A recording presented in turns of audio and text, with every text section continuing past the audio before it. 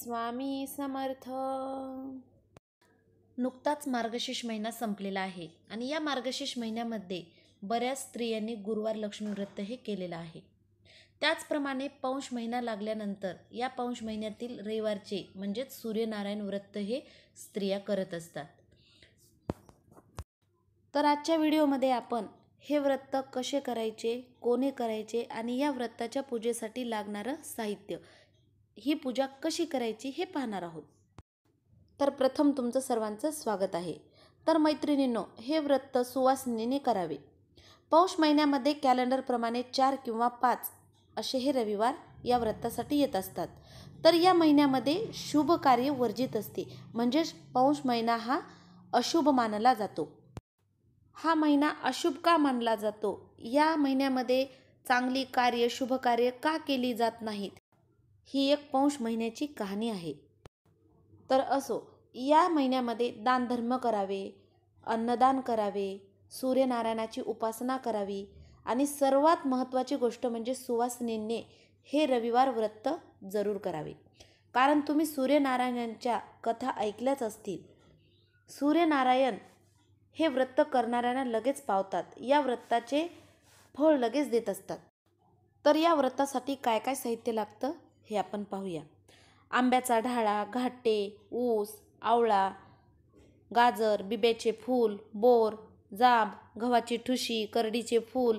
जर ते करडीचे फूल नसल्यास झेंडूचे फूल सुपारी खोबर पंचामृत आरती करण्यासाठी तुपाच्या वाती वस्त्रमाळ गंध अक्षदा फूल हळदी कुंकू उदबत्ती धूप आणि प्रसादासाठी दूध साखर आणि तीळ एकत्र मिसळून घ्यावे. आणि रानूबाईची प्रतिमा काढण्यासाठी आपल्याला रक्तचंदन लागणार आहे. जर ते नसेल तर आपलं गोपीचंदन चालेल. फक्त या चंदनामध्ये कुंकू मिक्स करावे. तर या पूजेसाठी इत्यादी साहित्य लागतं. तर हे साहित्य आदल्या दिवशी संध्याकाळी ताटामध्ये सर्व मांडून ठेवावे. पहाटे सकाळी लवकरच उठावे. घर दार स्वच्छ करून सडा रांगोळी करावी. त्यानंतर लगेच स्नान करून केस विंचरून घ्यावेत सकाळी सहाच्या आत केस विंचरावेत नंतर दिवसभर केस विंचरू नयेत. हा त्या व्रताचा नियम आहे. त्याचबरोबर दिवसभर कापायचे नाही वाटायचे नाही किंवा लसण वगैरे सोलायचं नाही ते आदल्या दिवशी सर्व करून ठेवायचे. ज्यांना उपास नाही किंवा एखादी लहान मुलगी असेल तर तिच्याकडून हे सर्व काम करून घ्यावे. तर ही पूजा सकाळी सहा ते साडेसहा या दरम्यान करावी. म्हणजेच सूर्यनारायण उगवते वेळेस ही पूजा संपन्न व्हावी.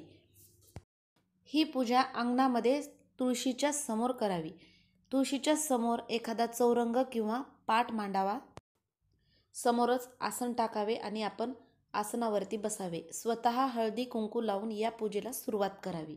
त्या पाटावरती सूर्यनारायण काढण्यासाठी गोपीचंदनाचा गंध करावा आणि त्या गंधामध्ये थोडंसं कुंकू मिक्स करावं. आणि त्याने हे सूर्यनारायणाची प्रतिमा काढावी. त्याचबरोबर रक्तचंदनाचा सुद्धा गंध करून घ्यावा आणि रानूबाईची प्रतिमा काढावी. जर रक्तचंदन मिळाले नाही तर याच गंधाने रानूबाई काढली तरी चालेल. आणि पाटावरती ऊस आवळा घाटे बोर जाम गव्हाची ठुशी बिब्याचे फूल गाजर करडीचे फूल असे सर्व मांडावे. जर तुम्हाला बिब्याचे फूल गव्हाची ठुशी घाटे ऊस हे जर नाही मिळालं तर कमीत कमी पाच फळे तरी पुढे ठेवावीत. पूजेसाठी पाण्याने भरलेला तांब्याचा तांब्या घ्यावा.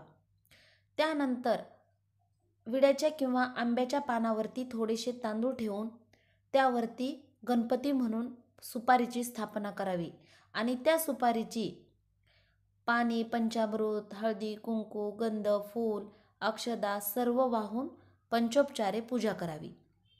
त्यानंतर त्या झेंडूच्या फुलाने त्या प्रतिमेवरती पाणी शिंपडावे. पंचामृत शिंपडावे. हळदी कुंकू गंध अक्षदा फूल हे सर्व वाहून नमस्कार करावा. त्यानंतर अशाच प्रकारे रानूबाईची सुद्धा पूजा करावी. सूर्य गणपती रानूबाई या सर्वांना कापसाचे वस्त्र वाहावे.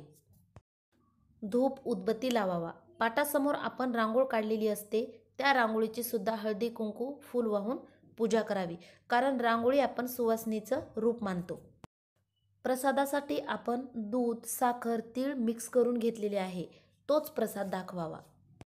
आता ही आपली अशी पंचोपचारे पूजा संपन्न झाल्यानंतर सूर्यनारायणाची आरती म्हणून घ्यावी आणि एक कथा वाचावी.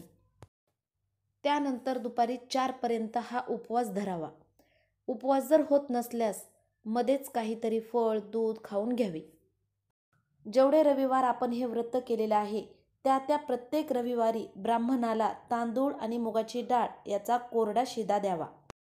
सूर्यनारायणाला खिचडीचा नैवेद्य दाखवावा. त्यानंतर आपण उपवास सोडावा. हा उपवास सूर्य अस्ताच्या अगोदरच सोडावा. त्यानंतर पाणीसुद्धा चालत नाही. तर मैत्रिणींनो अशा प्रकारे ही पूजाविधी करून जर तुम्ही हे व्रत केले तर सूर्यनारायण लगेचच या व्रताचे तुम्हाला फळ देईल. तुम्हाला मैत्रिणींनो हा व्हिडिओ आवडला असेल तर चॅनलला लाईक शेअर व सबस्क्राईब करायला विसरू नका. तुमच्या आमच्यावर सदैव सूर्यनारायणाची अशीच कृपा असावी अशी मी ईश्वरचरणी प्रार्थना करते. हा व्हिडिओ पाहिल्याबद्दल धन्यवाद.